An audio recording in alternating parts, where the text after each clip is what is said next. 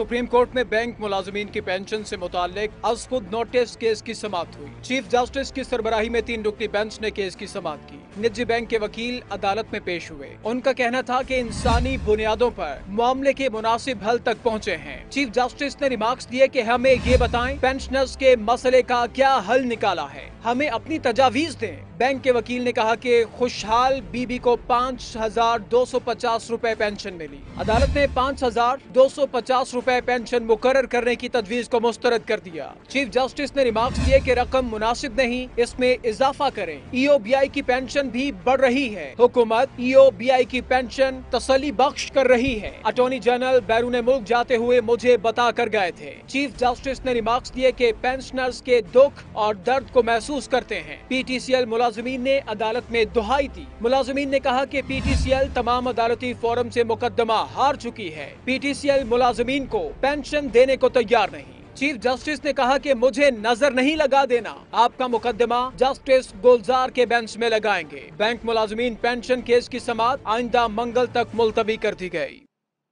پاک سرزمین پارٹی کے رہنما رضا ہارون نے الیکشن کمیشن کے باہر میڈیا سے گفتگو کرتے ہوئے کہا کہ کراچی کے مسائل پر آپس میں لڑتے تو اچھی بات تھی۔ ایم کیو ایم نے کارکردگی نہیں دکھائی اور سینٹ کے ٹکٹ پر لڑ رہی ہے۔ انہوں نے کہا کہ ملک میں مصطفیٰ کمال اور انیس قائم ہانی ہی دو ایسی شخصیات ہیں جنہوں نے وطن کی خاطر آواز لگائی۔ ایم کیو ایم کے موجودہ رہنما قیادت کے اہل نہیں۔ رضا ہارون نے کہا کہ پاک سرزمین کے دروازے ایم کیو ایم کے لیے کھلے ہیں۔ ہیں، جو آنا چاہے، آ جائے۔ کراچی کے لوگوں، پاکستان کے لوگوں۔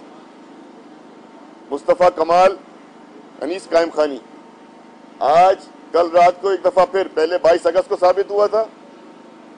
پھر نو نومبر کے بعد ثابت ہوا۔ اور یہ کراچی کی تاریخ میں چھ فروری بھی یاد رکھنے والی ہوگی۔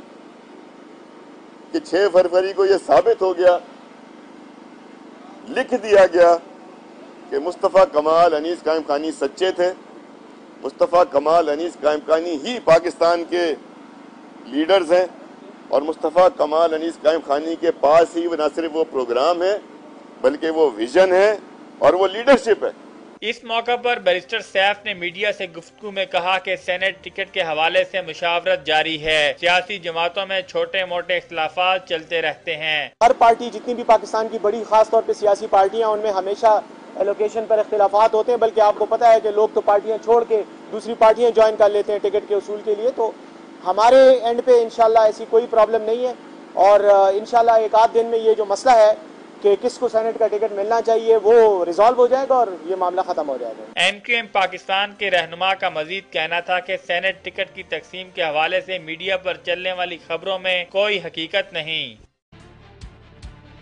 کراچی کی احتساب عدالت میں ڈاکٹر عاصم اور دیگر کے خلاف چار سو باسٹھ ارب روپے کرپشن کیس کی سماعت ہوئی۔ عدالت میں ڈاکٹر عاصم سمیت دیگر ملزمان بھی پیش ہوئے۔ وکیل صفائی کا کہنا تھا کہ نیب کی جانب سے الزامات بے بنیاد ہیں، جبکہ ڈاکٹر عاصم کا کہنا تھا کہ اکاؤنٹ انہوں نے نہیں کھولے تھے۔ عدالت کا کہنا تھا کہ جب گواہ کے بیان پر جرا ہوگی، تب ڈاکٹر صاحب آپ بتائیے گا۔ عدالت کا نیب پروسیکیوٹر کو کہنا تھا کہ نیب کی طرف سے تاخیر ہو رہی ہے۔ دیکھ لیں۔ اس پر پروسیکیوٹر کی جانب سے اکاؤنٹ سے متعلق جواب جمع کرانے کی مہلت طلب کی گئی۔ عدالت نے ریفرنس کی مزید سماعت بارہ فروری تک ملتوی کر دی۔ سماعت کے بعد میڈیا سے بات چیت کرتے ہوئے ڈاکٹر عاصم حسین کا کہنا تھا کہ نواز شریف آزاد کشمیر کے نہیں، پوری دنیا کے وزیر اعظم بننا چاہتے ہیں۔ جن لوگوں نے میرے ساتھ برا کیا، انہیں بد دعا دی ہے۔ صحیح باتیں کرنی چاہیے۔ اللہ انہیں نیست و نابود کرے گا۔ سینٹ انتخابات میں پیپلز پارٹی ہی جیتے گی۔ پیپلز پارٹی کا لاہور جلسہ شاندار تھا۔ ایم کے ایم کی صورتحال پر ڈاکٹر آسم نے تبصرہ کرتے ہوئے کہا کہ سیاسی جماعتیں بنتی ہی ٹوٹنے کے لیے ہیں۔ یہ تو سیاسی پارٹیوں میں چلتا رہتا ہے۔ ایم کے ایم میں اس سے بڑی ٹوٹ پوٹ کیا ہو سکتی ہے؟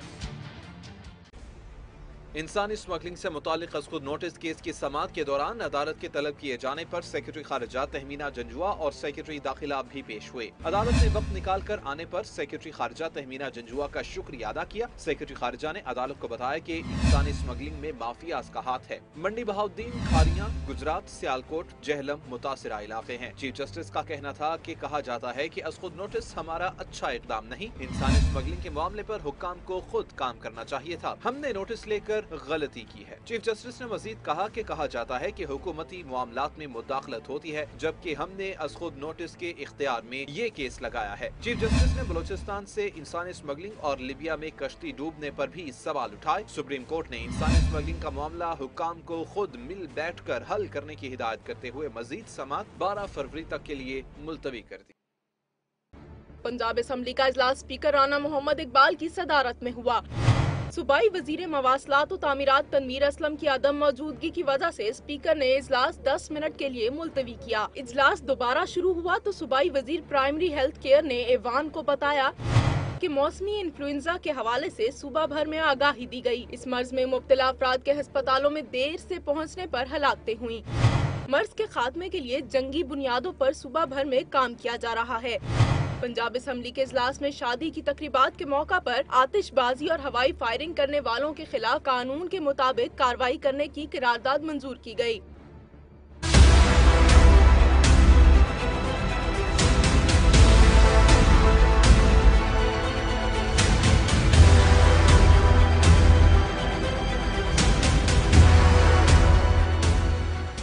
سابق وزیر اعظم نواز شریف کے خلاف تین نیب ریفرنسز کی سماعت احتساب عدالت کے جج محمد بشیر نے کی۔ نواز شریف، مریم نواز اور کیپٹن ریٹائرڈ صفدر عدالت میں پیش ہوئے۔ نواز شریف کے وکیل خواجہ حارث سپریم کورٹ میں مصروفیت کے باعث پیش نہ ہو سکے، جس پر فاضل جج نے نیب ریفرنسز کی سماعت دوپہر دو بجے تک ملتوی کر دی۔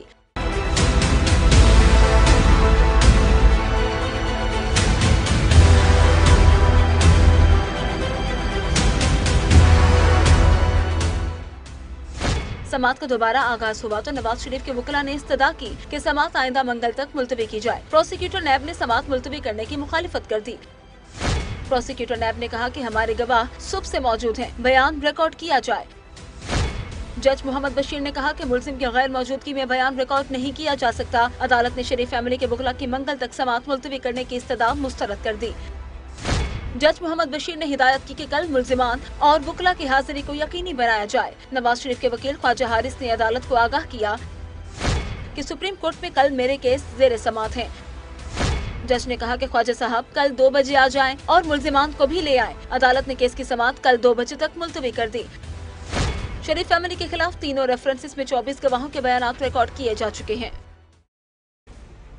وزیر دفاع خورم دستگیر نے سی ایم ایچ پشاور کا دورہ کیا اور سوات دھماکے میں زخمی ہونے والوں کی عیادت کی۔ انہوں نے جوانوں کے بلند حوصلے کی تعریف کی اور دہشت گردی کے خاتمے کے لیے جدوجہد جاری رکھنے کے عزم کا اعادہ کیا۔ وزیر دفاع کا کہنا تھا کہ جوانوں کی بہادری بلند عزم اور حوصلے سے پوری قوم مضبوط ہوئی ہے۔ پاکستان دہشت گردوں کے سامنے نہیں جھکے گا۔ ان کے مضموم عزائم ناکام بنائیں گے۔ انہوں نے ٹراما سینٹر میں شاندار طبی خدمات سہولیات اور طبی عملے کی پیشہ ورانہ صلاحیتوں کی تعریف کی۔ وزیر دفاع کو ہارٹ میں کیپٹن جازب رحمان شہید کے گھر بھی گئے اور شہید کے والدین اور اہل خانہ سے تعزیت کی۔